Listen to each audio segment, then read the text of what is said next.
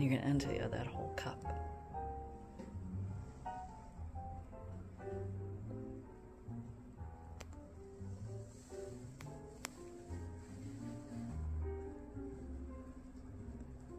Here comes that yellow.